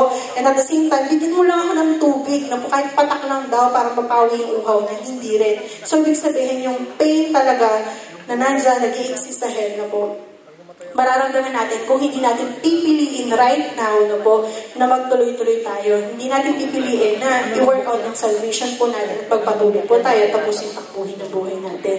Amen? So, uh, this is, uh, itong sinabing hell is not to para takutin lang tayo, ano po, hindi para maging aware tayo lahat na meron talaga hell. At magbigay ito ng, ng kagalakan sa puso natin na may heaven, ano po, na may naghihintay na maganda sa bawat isa po sa atin. Amen po. Amen. Wala na pong turning back ha, kapag nandiyan na, no turning back na. Kapag nandiyan ka na sa wala nang bawian na po. And, uh, conclusion na ako, okay lang. Praise God. Uh, so, as a conclusion po, no po, sa lahat na napag-usapan natin, David, no po, sinasabi nga, if you read the book of Psalms, it's all about po yung, ano, yung pong uh, pagtawag ni, ni David sa ating Panginoon. Si David po, pinagkatiwalaan niya ang Diyos sa buhay niya and sa future niya. Hindi siya na-embarrass na po every time he cried out to the Lord. Pag nabasa niyo, di ba, cry for help, no, sa distress niya, umiyak siya sa Panginoon, hindi siya nahihiya na umiyak sa Panginoon. Kasi alam ni David na kapag umiyak siya sa Panginoon, no matter what's going on, what's going through, no po, God is there for him. No po, na nandiyon ng Diyos para sa kanya. Amen? At yung mga tears niya, no po, naiipon niya in, sa precious bottle, no po. In, uh, He is present sa bawat sitwasyon po ng buhay ng uh, bawat isa atin, we may cry, no po, pero ang Panginoon po nandiyan palagi. Habang nandito pa tayo sa lupa, He provides everything para ma-comfort tayo. And one day, umiyak tayo pero nandiyan siya. And one day, totally na po, completely, He will wipe it na po pag nandun na po tayo sa heaven. Amen? Tears, inuulis ko po, doesn't last a lifetime. Ano man hinaharap mo ngayon, it will not last forever. Amen? Amen po ba?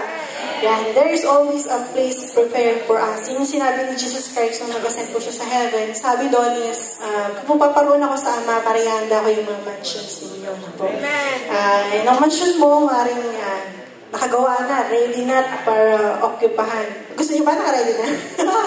yung mga gusto naman, may baka ready din kanila. Sige po. Give thanks to our Lord. Ako po, no, personally, pag nakikita ko yung baby ko, yung anak ko po, sa, uh, ito yung prayer ko sa kanya, kasi pag parent ka na pala, ganito na yung ano mo. There's no fear, but it is a prayer na sa pag lumaki siyang may takot sa Panginoon, lumaki siyang malusog, lumaki siya na, na, na nagdilikod sa ating Panginoon. And one also my prayer is that Lord, sabi ko, I declare that He will finish His race. No po. Isa yun sa prayer ko sa anak ko. Kasi I know, kasi ako, nabuhay tayo sa mundo to, na 30 years old na na, nakakaranas ka ng pain. And also, that is my declaration and my prayer for my son, na isang ibig sabihin lang to, that no one is exempted sa anumang pag-iyak, sa anumang problema na darating. Kaya yun yung prayer ko sa anak ko. I declare for him na uh, pinanganak sa mundo to and you will finish this race. So, ganun din po yung bawat isa po sa atin. No po? Uh, we must be always be grateful sa ating Panginoon kasi ano eh, uh, sa lahat ng sitwasyon nandun siya, ano po. Sa lahat ng ano mang hinaharap mo, nandun siya. Hebrew 13.5, He will never leave you nor forsake you, ano po. Siya yung Diyos na bubuo sa lahat ng mga mga na-broken, ano po. Siya yung Diyos na nagpapagaling sa lahat ng may sakit, at siya yung Diyos na higit sa lahat, na po, papawi po sa ating pong mga luha.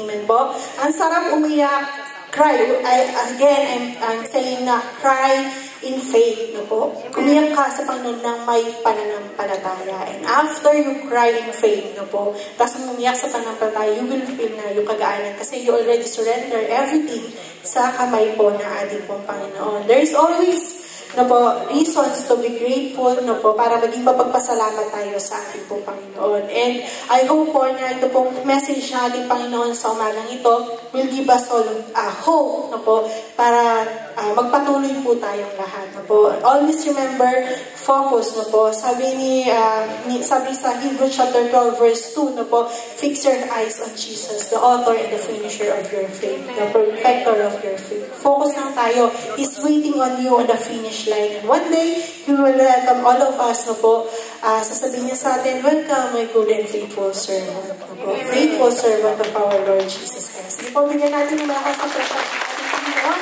At tayo pong lahat ay tumayo. Tayo pong lahat ay tumayo.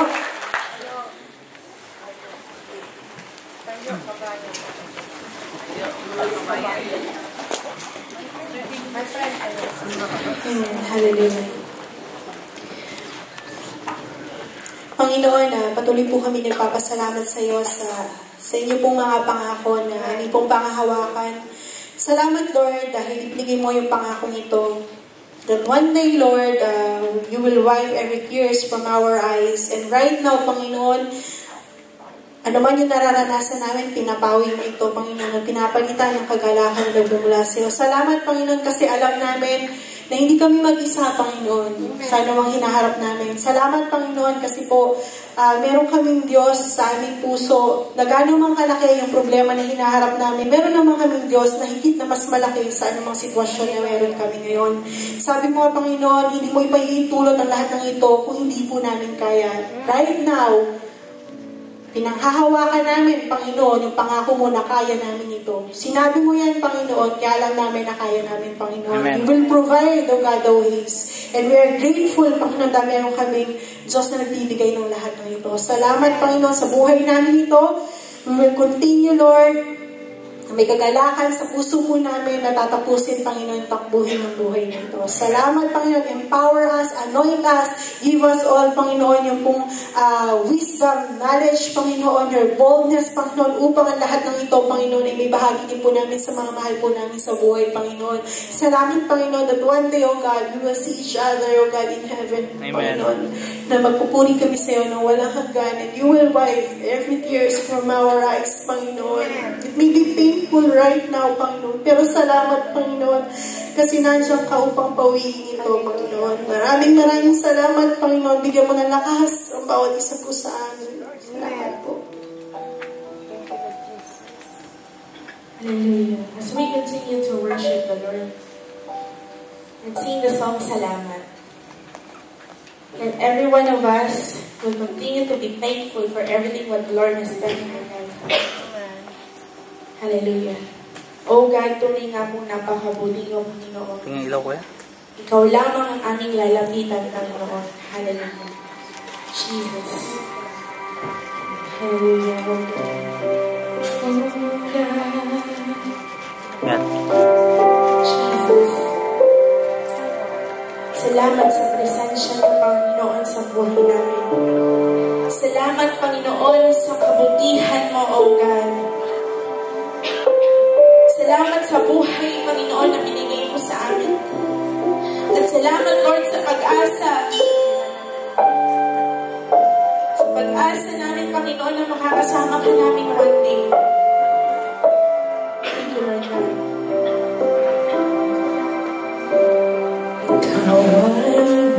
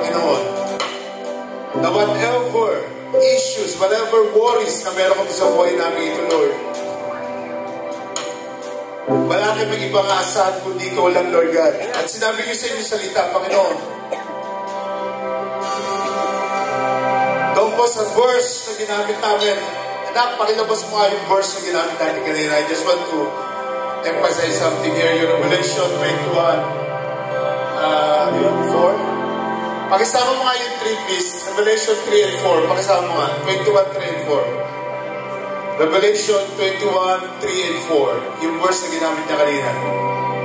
Isama mo yung 3 please.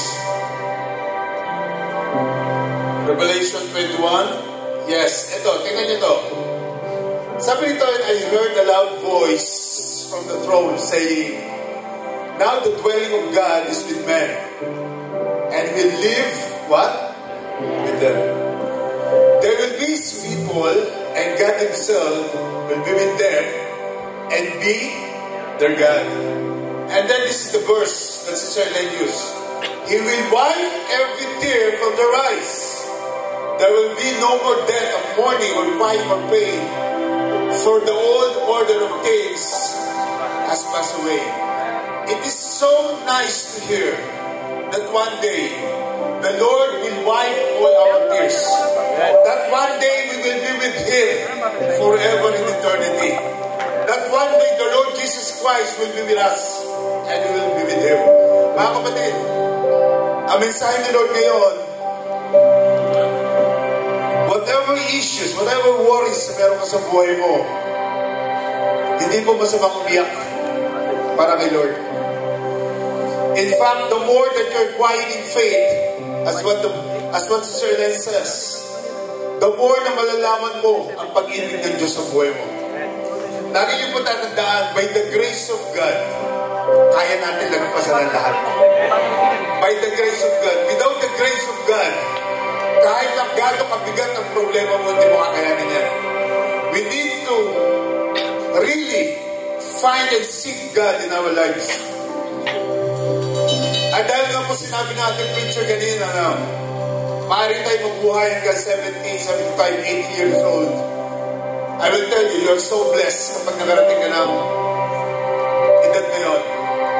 But right now, I would like you to realize na yung ganong edad is sandali lang sa buhay na ito. Na one day, lahat tayo gusto natin makarating kung saan nandun ang Panginoon. Kaya nga po, napaka-importante na ang Panginoon ang ating sandigan sa araw-araw ng buhay natin. Ang salita niya is napaka-importante po sa buhay natin. Mga kapatid, sa oras na to, I want to invite those first timers right now, yung mga first time natin, punta po kayo rito and we want to make sure na kayo po is hindi lalabas sa lugar na ito na hindi natin natatanggap ang presensya ng Panginoon sa buhay natin. Come on, this is this is between you and God right now. At hindi lang sila, if, if you are right now having an issue in your life, if you are right now having some worries in your life, if you want to receive the guidance of God, I will invite you after this. Mga kapatid, you are here right now and the message that the Lord has given us is so powerful na dumadaan man tayo sa hirap sa buhay natin. Alam natin ang Panginoon nandyan.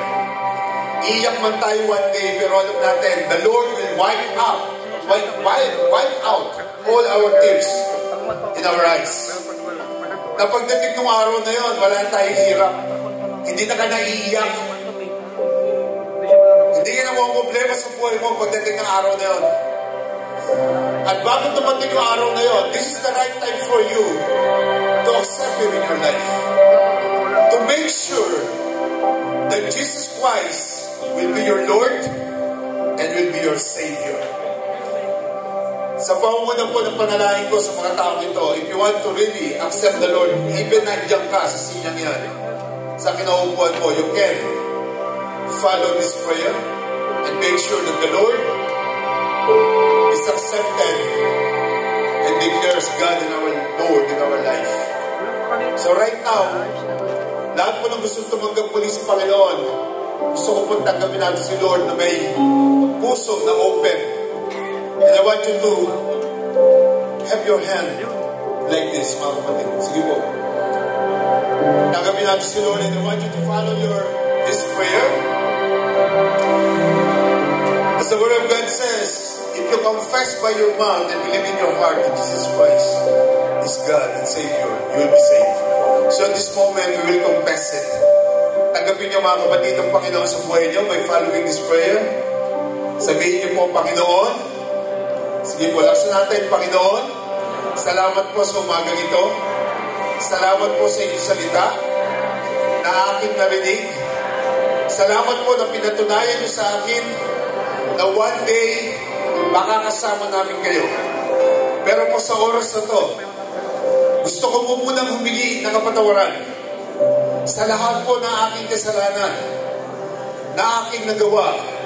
Simula po na ako'y bata hanggang sa kasalukuyan. Hinihiling ko po, Panginoon, ang kapatawaran. At hinihiling ko po na kayo na po matakpatakbo ng buhay ko simula po sa oras na to. Dahil sa oras na to, tinatanggap kita bilang aking Diyos at sarili kong tagapagligtas. At inihiling ko, Panginoon, na pangunahan niyo ang buhay ko simula po sa oras na to hanggang sa araw na iyon na inyong pagbabalik. Salamat po, Panginoon. Ito po ang aming dalangin sa tanging pangalan. Inak na si Jesus. Lahat ay magsasabi na, Amen. Amen. Hallelujah.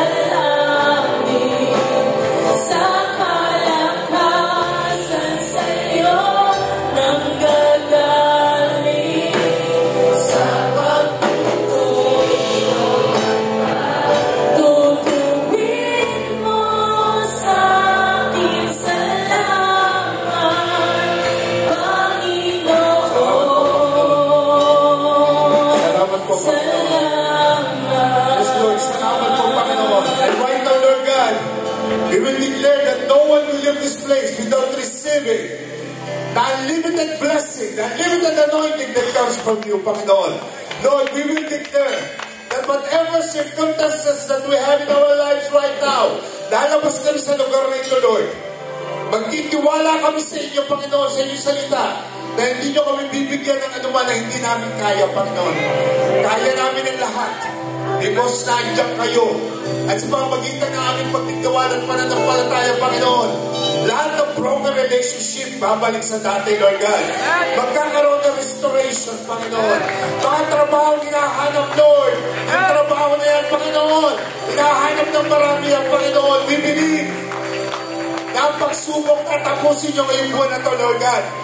Mga kapatid na dumadaan ng pagsubok, mga visa problems, Lord God, right now, Hallelujah. We bind it and we cast it out in Jesus' name. Hallelujah. Financial issues, financial problem. We bind it and cast it out in the name of Jesus. Mga problema sa penalty sa visa. Mga problema sa penalty sa overstaying. We bind it and cast it out in Jesus' name. Hallelujah. And mga problema sa sakit. Ano bang karamdaman niya? We bind it and cast it out in the name of Jesus Christ. right now, Lord God, as you said to your word, that what we bind on earth will be bind in heaven. Right now, Lord God, we release blessing to everyone. We release healing. We release restoration, Panginoon. We release freedom, Panginoon.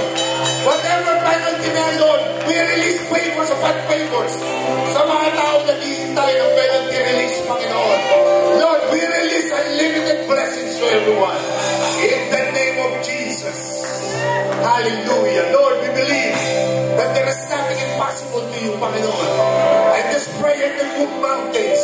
All the impossibilities, Lord God, is possible to you who believe. Lord, we believe in you. We believe in you, Lord God. At salamat po, Panginoon, sa inyong mensahe today.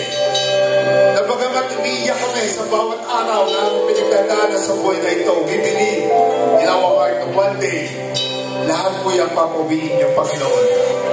Maraming maraming salamat po, Panginoon. Thank you so much for today, Lord. Thank you so much. We sealed all our declaration today with the blood of Jesus. And let there be testimony. Let your name be glorified, Lord, in everything na mangyayari po sa mga buhay namin. Maraming maraming salamat po, Panginoon. Sa inyo po lahat ng papuri, pasasalamat at pagsamba sa tanging pangalan ng inyong anak na si Jesus. At lahat ng magsasabi na, Amen! Sige po, pinapalan si Lord. Yes, hallelujah. Thank you so much po. Congratulations po sa inyo. Pero makipagsan mo na yung ilaw.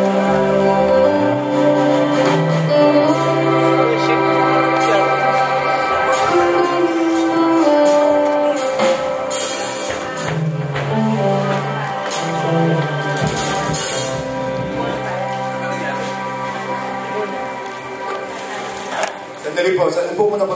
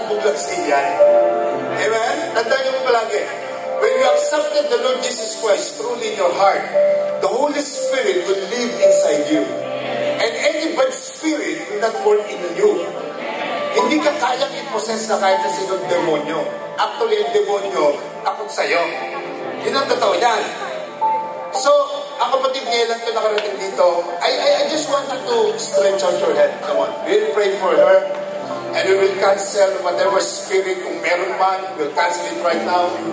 And uh, let her live in peace, in joy, with calmness in his heart. Dahil tinagap niya si Lord sa araw na ito. Walang imposible sa Panginoon. Do you believe that? Lahat tayo is kaya, hindi kaya i-snatch sa kamay ng Panginoon yung buhay natin basta tinanggap na natin siya. No one can ever snatch you from the hands of God. Amen? So right now, let's declare. All stand, please? Stand on your feet and let's let's stretch out our hand to Him. And right now, let's let's give the devil a uh, a punch on his face. Hallelujah. Rasha Rababasha. Lord, wala pong imposible sa inyo, Panginoon. Come on, open your mouth, everybody. Open your mouth, everybody. Intercede for this. Hallelujah, Lord. Wala pong imposible sa mga taong tumanggap na sa inyo. At ang kapatid ko ito tumanggap sa inyo, Panginoon. Tinanggap niya kayo, Lord God. Lord, let there be a declaration of your power in her life. Let there be a declaration of the Holy Spirit. Holy Spirit, from this year onwards, make so many miracles in this church right now. Lord God, right now, your name will be testified. Your goodness, your faithfulness will be testified in your life. Hallelujah. Father in heaven, power of the name of Jesus, in the power of the name of Jesus, Lord,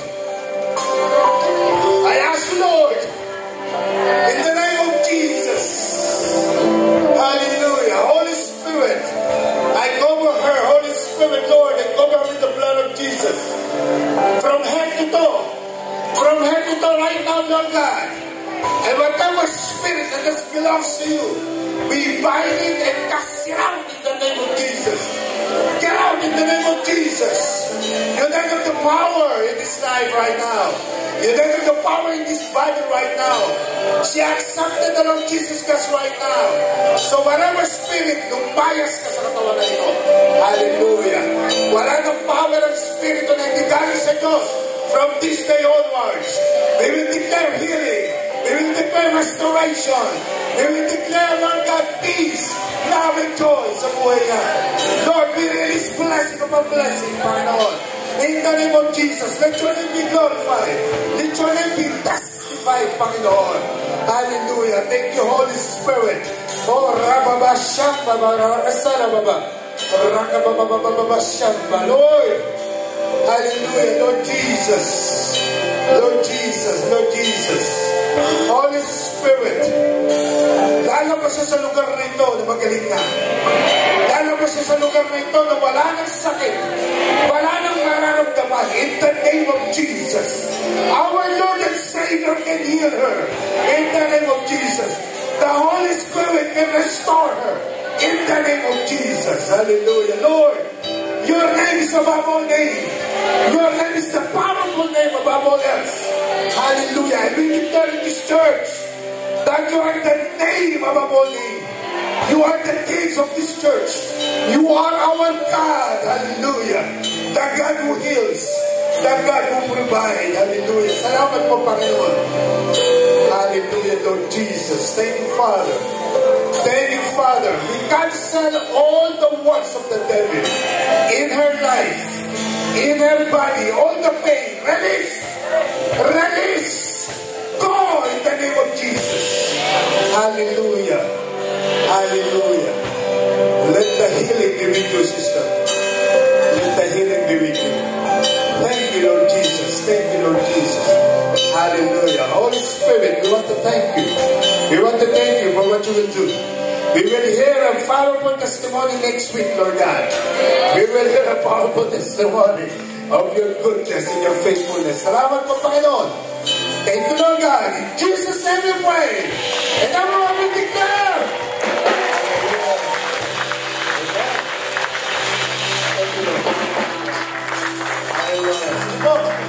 Meron po tayong training yan, yung post encounter, di ba? May training po post encounter, batch judge, okay? Lesson 9, yung post encounter. Sino sa inyo na bless yung umaga ito? Okay, so receive this, receive, come on everybody. Oh, before, before that, before that, sorry. Pag-pray mo natin si Sir. Before I forgot.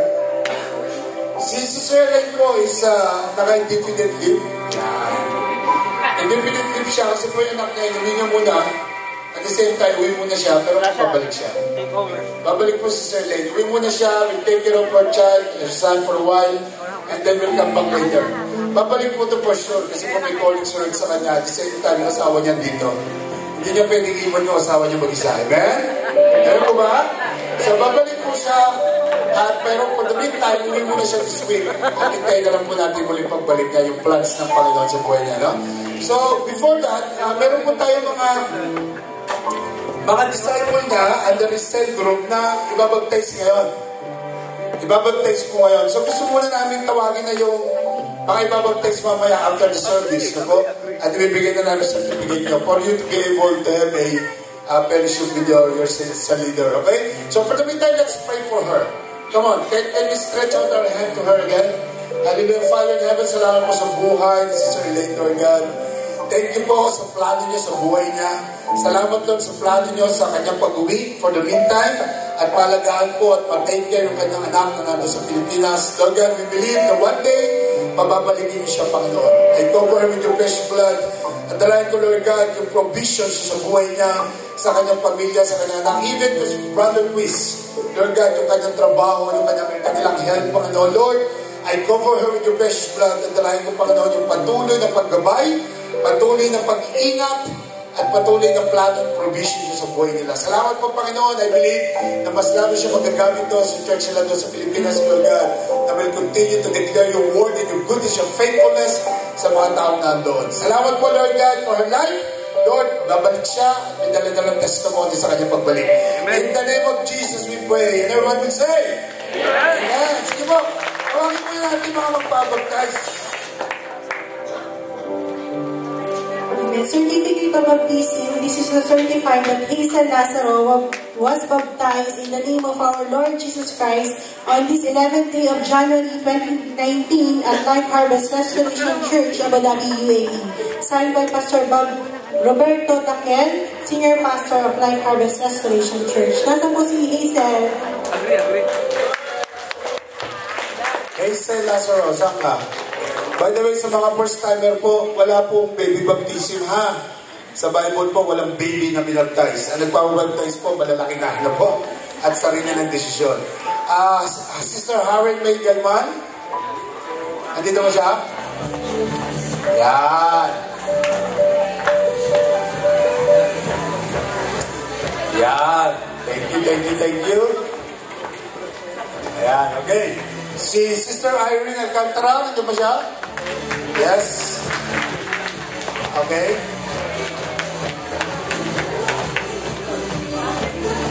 At yung cell group ni uh, Brother Chris, si Brother Felipe Tal III, saan ka? Yes. At si uh, Brother Ivan Lazaro. Sige ni Brother Rito. Yan. Okay. Sila po is na diretso sa baptism today but we're giving you certificate right now na po. Yung mga sa leader nga nila nasaan? Sa leader nila, come on, please. Okay, so, nak, mo nga isang shot before, para meron tayo na. Siguro.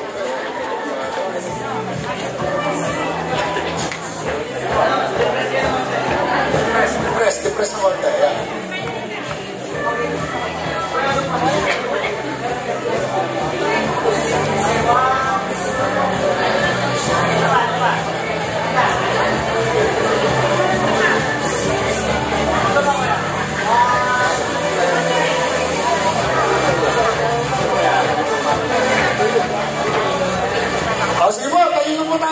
Tanggapin natin, tanggapin natin pagpapala ng Diyos sa oras. Sige po.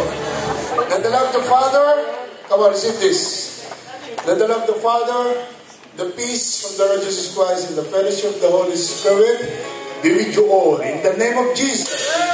Amen.